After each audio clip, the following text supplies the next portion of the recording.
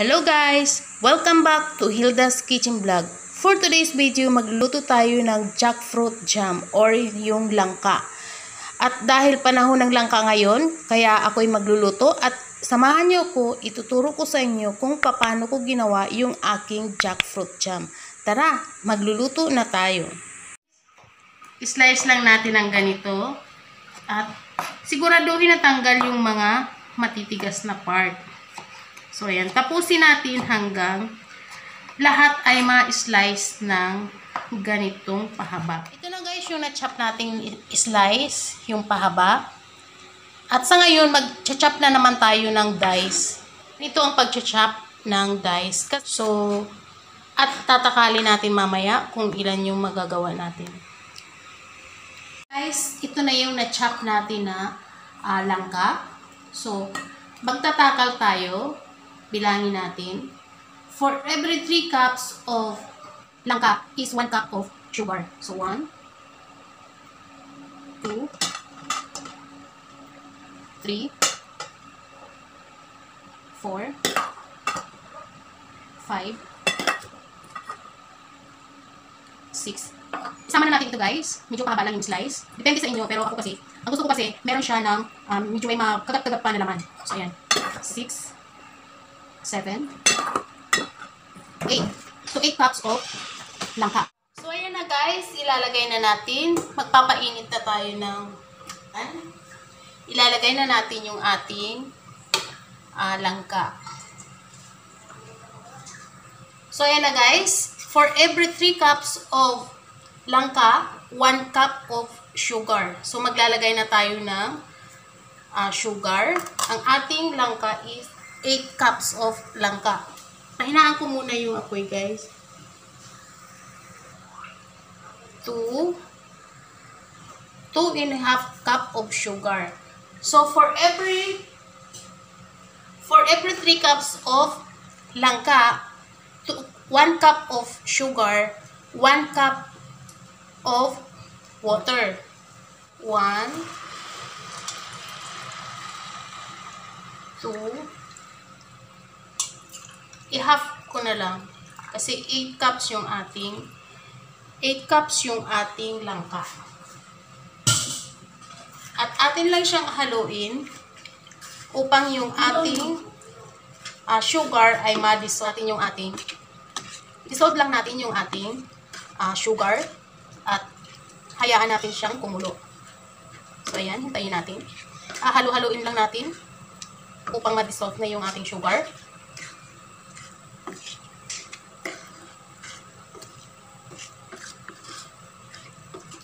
So, ayan. At naramdaman nyo na, na nag-dissolve na yung sugar, iiwan muna natin siyang kumulo. Tatakpan muna natin siya. Ayan na guys, kumukunti na yung ating water. Iwanan na natin nakabukas kasi malambot na yung ating langka. Iwanan na natin nakabukas para ma-drain na yung may evaporate na yung kanyang tubig. So, ayan na guys. Halos konti na lang yung ating water. So, hahalo-haloin na natin siya. At atin na siyang i-mamash upang maging maliliit na. Tuloy natin kasi medyo may liquid pa siya. Halo lang siya ng halo. At ang paghahalo dinidian, dinidiinan upang yung mga uh, langka ay mag-mash siya. So, ayan na guys. Halos wala na siya ng uh, liquid. Ituloy pa rin na natin ang ituloy yung ating paghahalo. At imamash na natin siya ng imamash. Nagpalit na rin ako ng spoon para lalo ko siyang maimash. So, tuloy pa rin kasi meron pa siya ng liquid. Ayan. Ayan na guys.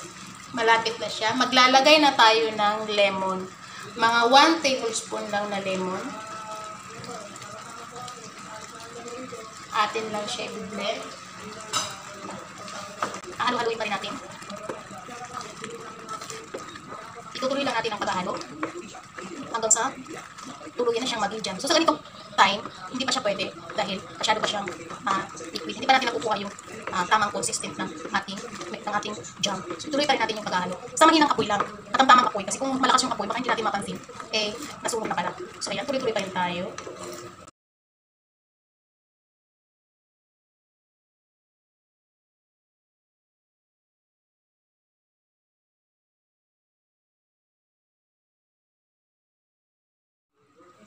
So ito na guys, yung ating jam. Langka or jackfruit jam. Dahil panahon ngayon, season ngayon ng ah, langka, so pwede na ninyong gawin jam at may store na natin ng matagal, ilang buwan sa ating mga ref. At every time na kakailanganin natin ng ah, pang spread, so may makukuha na tayo. At pwede rin itong pang negosyo guys. Tandaan nyo lang kung paano ko ginawa. At pwede nyo i-battle. At yun. 76 yata per one bottle. So hindi ko na siya nilagyan ng costing guys kasi yung aking jackfruit ay galing lang sa aming backyard. Kaya hindi ko siya mapipresyohan. So yan guys, ilalagay na natin. Palamigin lang natin siya at after niyang lumamig, lalagay na natin siya sa ating bottle. Nakuha na natin yung ating tamang consistency ng ating jack, jam na jackfruit. So, ayan guys. After nito, palamigin na lang natin. At kapag malamig na, ay pwede na nating ilagay sa ating mga bottle. So, ayan. So, okay na tayo. So, ayan na guys. Malamig na yung ating ah, jackfruit jam ilalagay na natin siya sa ating bote.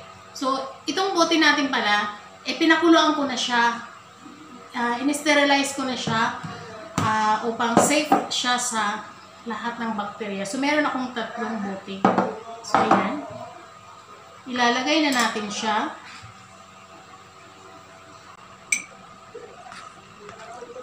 Ayan. Ayan pala.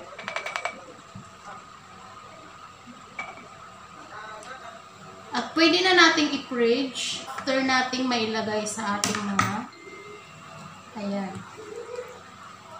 So, ayan. Mukhang dalawang buti lang yung ating magagawa.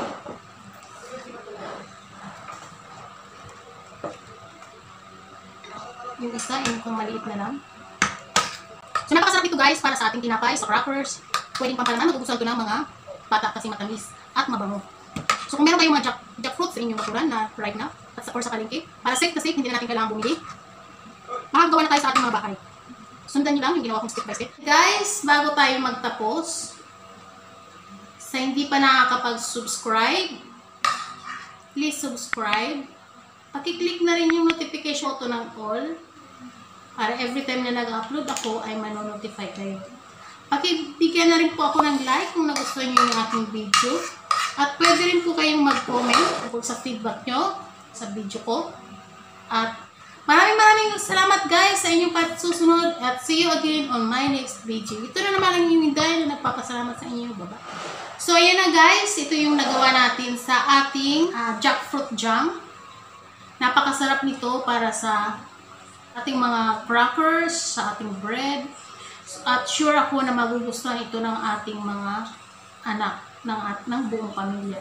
Ilagay. I-try nyo rin guys sa inyong mga bahay at makakagawa na kayo sa bahay lang ninyo. Makakagawa na kayo ng isang masarap na jackfruit jam. Guys, maraming salamat ulit sa inyong panonood. At kita-kita tayo ulit sa aking next video. Bye-bye!